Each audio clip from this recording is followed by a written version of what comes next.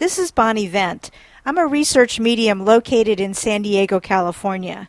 Recently, the television show Ghost Adventures came to the Cosmopolitan Hotel in Old Town San Diego and noted the bedroom set in room 405.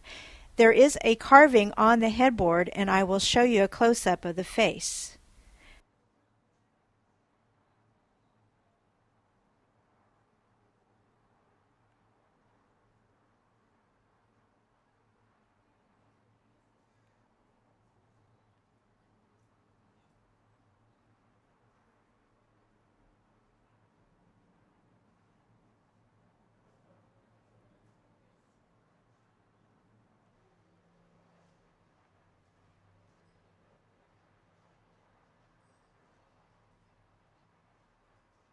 Heading over to the other side of the room, we find the dresser.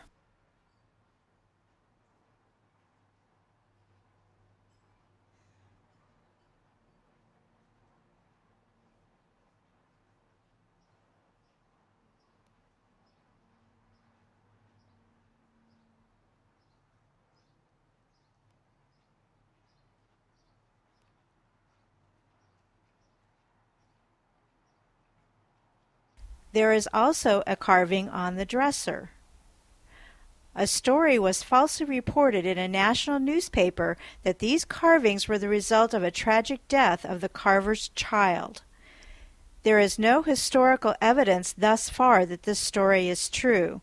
The bedroom furniture was placed into room 45 sometime in 2010 before the reopening of the hotel.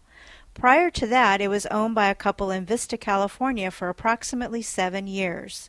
If you know the origin of the furniture and the name of the carver, please let us know.